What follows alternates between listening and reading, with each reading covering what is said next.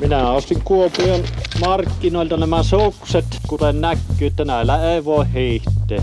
Mistähän näille vahingolle saisi korvauksen? Mulla ei ole minne paikkaa Joo. mennä.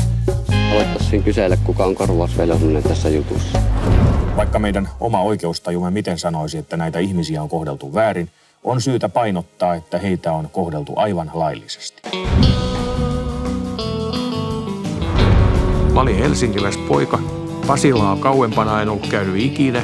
Ja kaikki ne ihmiset, jotka tuli sen Pasilan toiselta puolelta, niin ne oli mun mielestä sellaisia landepaukkuja, joilla oli päässä lippalakki, mutta ei sitten päässä mitään muuta. Se oli valtavan iso murros koko television toiminnan ja merkityksen kannalta. Vähitellen tuosta Suomen kansasta viehätyin. Mitä enemmän mä tein, niin sitä enemmän johtoporras sai pääsärkyä.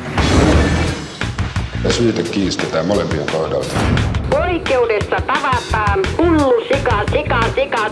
Kyllähän se Hannu hankki niitä vihamiehiä itselleen ja uhkaajia ja painostajia. Semmoinen 10 000 aiheehdotusta tuli vuodessa. Silloin luojan kiitos ei ollut näitä nettejä olemassa. Mutta koska verottaja puhuu aina totta, niin tuo mittari valehtelee. Tässä ei voi olla kylmä, kun tässä on sauna.